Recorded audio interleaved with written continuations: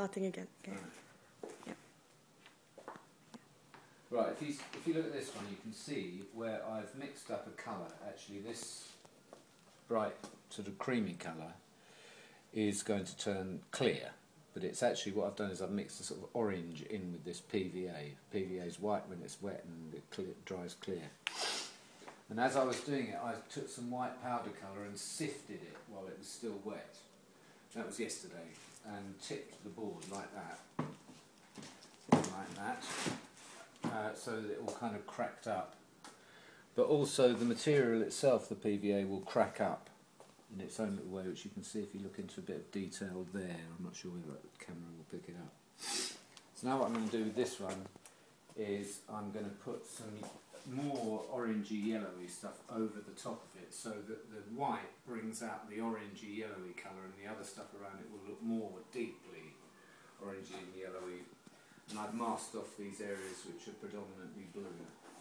You can see a bit here where it's actually going to be the clear, but that won't matter because that will be a sort of clear orange when it's dried. So I think I'll do this one first. So I'm seeing it, and what I do is I've taken one of these rather wonderful yogurt pots. This is really good yogurt. It's Turkish.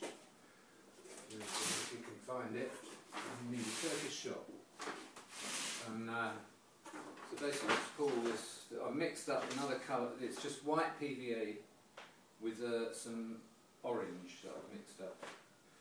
And this is rather a lovely process, a bit like pouring cream. Goes over the top there. Got a whole lot there. That's, what's that, two litres? One, a kilo. So it's about a litre, isn't it? And that just all goes on. It is, it's like some cookery type thing. So that's, uh, that's what drumsticks are used for. Right, okay, so then I just need a, a spreader just evenly spread it over if I can. I posted some pictures yesterday which was the 5th or the 6th, I'm not quite sure what it is today, but it's the 6th or the 7th, that's somewhere around there. And this just gets all covered over there. It was fun doing this, I like doing this. That's why I do it actually, because I like it, it's surprising. And I'm not sure quite whether the audio is going to pick up what I'm saying enough. It should do though, because it's normally quite a good thing, the iPhone, for doing video, I've found. It's just getting it up to, I don't want it too much over the masking tape, it's just a bit of a waste of stuff, because I've used about, obviously about two litres of this stuff on this, and it's already, because I like it to be thick, it's already showing signs of almost not being enough So I need to try and get some more PVA from somewhere. And that is getting there. So it just has to be completely covered really. Lovely stuff.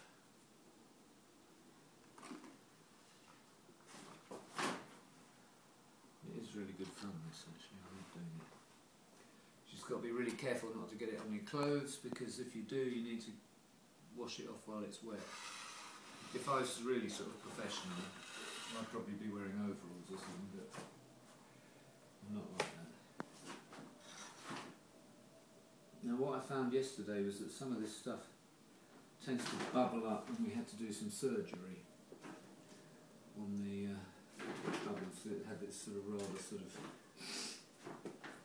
acne kind of appearance on it, which wasn't particularly what I was after sometimes you just roll with stuff. The beauty of this actually is because the PVA is white when it's wet, you never know what you're going to get. So there's quite a lot of randomness to it. And for me, it's akin to doing work in ceramics where you're doing pottery. When you're, uh, you never quite know what the thing's going to look like when it comes out of the kiln. I mean, real technicians know because they're doing so much of it What we want to do is try and make this quite thick on the corners and edges where the masking tape is, because when it peels off it's thick at the edges and that gives it much more definition. So there's a fair bit, it's worth just spending a bit of time and putting a bit of effort into making it thick in all the right places. So this process reminds me a little bit of French polishing, which I did quite a lot of over the years restoring pianos. Because you're trying to even it all out. Excuse me sniffing. I'm just getting over a cold. That's my excuse. My mum hated it because I was a sniffer as a child as well. You probably can't hear much of what I'm saying, but just tough, I suppose. And uh, getting there.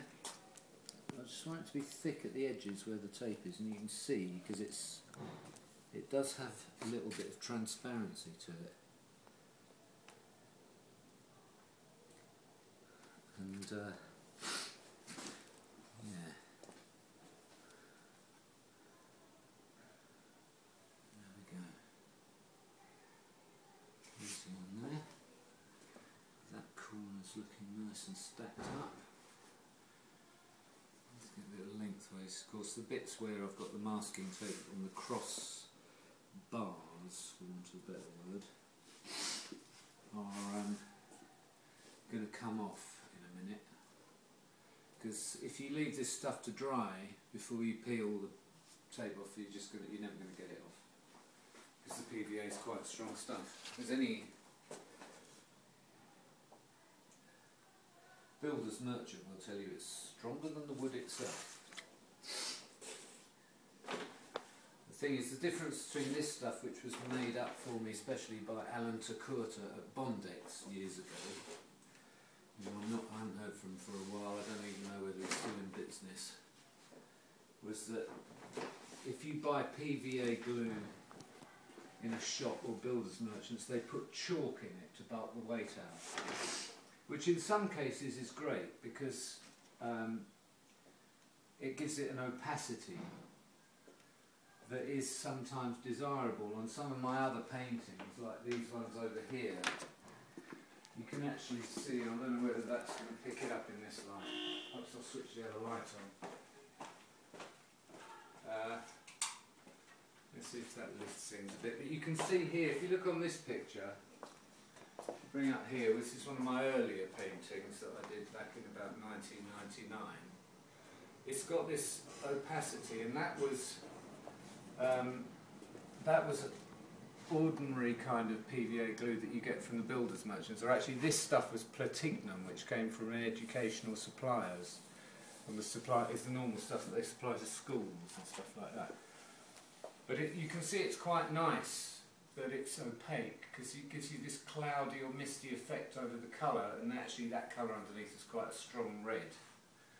But I wanted to be able to control it a bit more so I got this other stuff made up. It was also, I was looking for a bulk manufacturer because I wanted to buy it in a bit more bulk because as you can see I use quite a lot of it when I'm painting.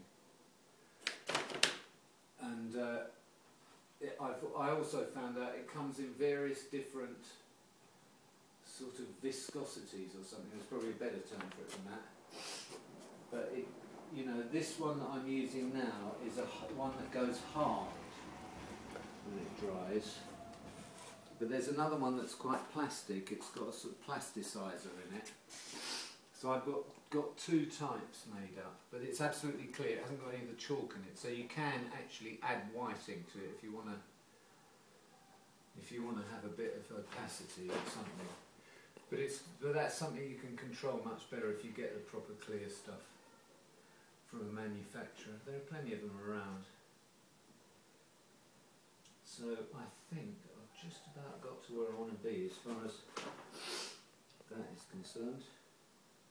See if I can just, maybe I can just persuade a bit either side of this line back up towards where I want it because there's masking tape coming through here It doesn't matter if it's got drippy bits here and there. It just adds to the kind of character of the thing I've found.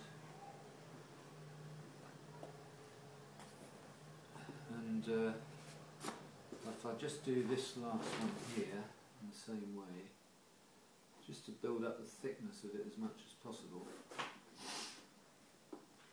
If the uh, iPhone battery doesn't run out before I get to the end, probably won't actually.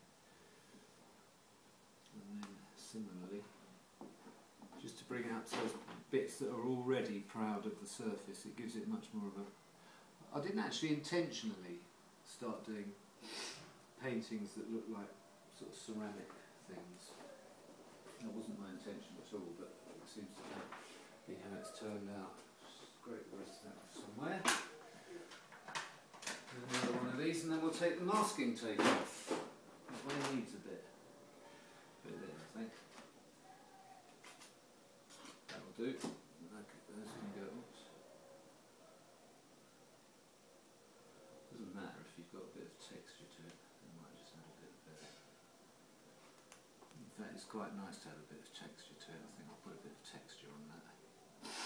Because later on, if I've got a bit of textured relief type surface, by just rub, by just dragging this across like that, when it starts to go off a bit, later on I can take an almost dry brush of white or black or some other colour, acrylic paint, and just bring out and emphasise that texture.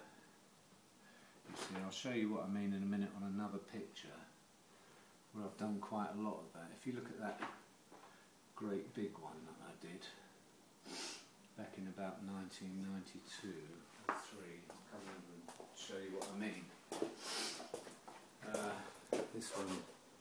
You can see if you look here, I don't know whether the camera can pick that up, if you bring it in it might expose right. But that, all that white, that's just a almost dry paintbrush gone across where I've textured the PVA underneath, you see.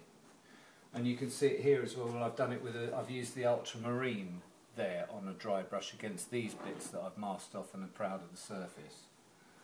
So it actually brings stuff out, and all over here, all that texture you can see is what I've done, what I've demonstrated there. When it's dry, going over an almost dry brush to bring out all that texture.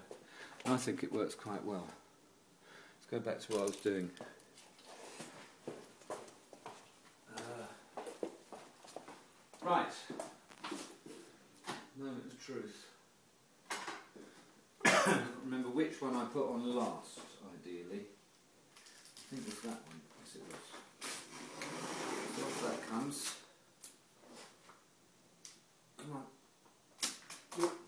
Doesn't matter if it splashes onto other pictures, people's furniture, priceless rugs, and all that kind of thing. All adds to the fun. That can go there. Then it was this one. So you try and keep it away from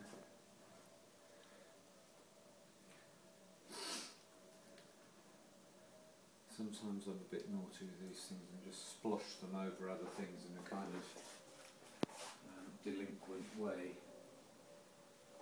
because um, I'm like that, and it's you know it's all part of the sort of randomness. Because some of it's very controlled, as you can see with this masking off into rectangle. But I do like things to be a little bit anarchic and throw a bit of I don't care into the equation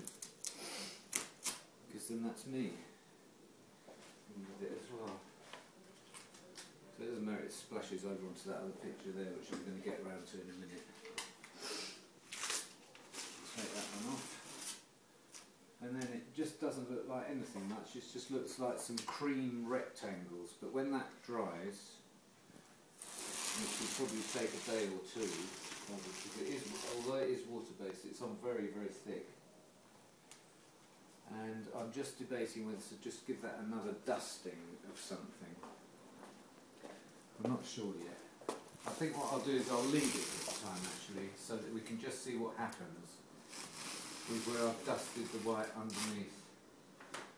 And that's quite pleasing as it is. It looks like icing on a cake, doesn't it? Okay.